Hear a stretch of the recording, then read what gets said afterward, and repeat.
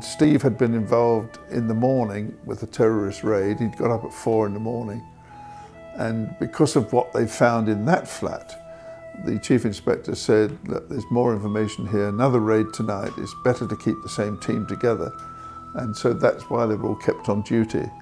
And they, they found the two extra terrorists they wanted. And in there was another lad who had escaped from a terrorist operation in London.